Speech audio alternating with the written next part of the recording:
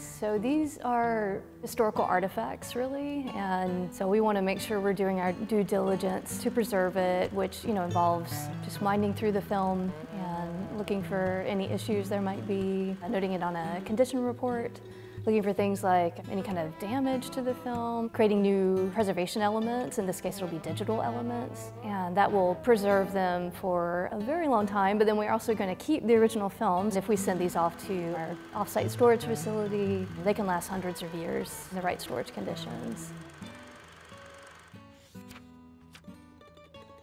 The particular film that I was looking at, that's footage of Phil Ochs, and he's one of our uh, collections that we have here, the Phil Ochs papers. He was interviewing the Swedish ambassador to Chile.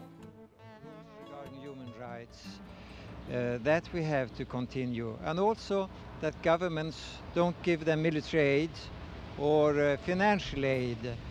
Um, some countries have given much and uh, the junta can exist only thanks to this aid.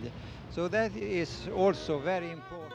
We have both the Phil Ochs papers and the Michael Ochs collection. Michael Ochs was Phil Ochs' brother. I think in both cases the family of Phil Ochs donated the papers for Phil and also the Michael Ochs collection.